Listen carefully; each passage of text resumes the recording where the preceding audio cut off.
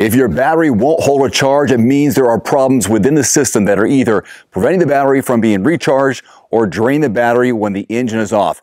Here are six common reasons for this to happen. Number one, bad cell. Batteries will eventually die no matter what. They will develop a bad cell that prevents them from holding a charge and will need to be replaced.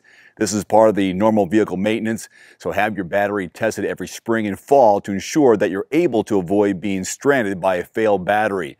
Batteries most commonly die during hot and cold weather. Number two, low water. Some batteries have fill holes that allow you to maintain them, although most modern batteries are maintenance free and don't allow you to add water. If you have a maintainable battery, topping off the water level may solve the problem. Next, a bad alternator. If the alternator is not charging the battery while the engine operates, the battery will not hold a charge.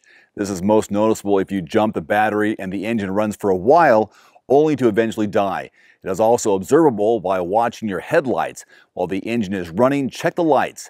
If they start bright but slowly fade, chances are good that the problem is the alternator, not the battery. Corroded battery cables. Battery cables and terminals can suffer from corrosion. As it builds up, this corrosion prevents solid contact and can limit the charge being supplied to the battery from the alternator.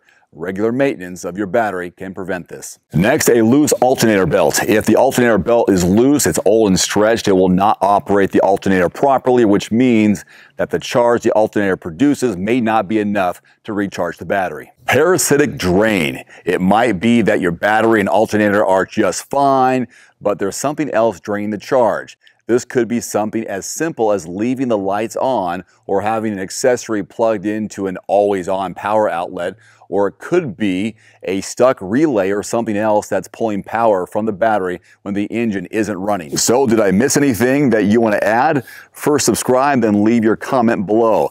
Thank you very much. I'm Dave Erickson with Everyman Driver. Hope to see you back here next time. Adios. Thanks for watching. Please click subscribe and give us a thumbs up. See you next time.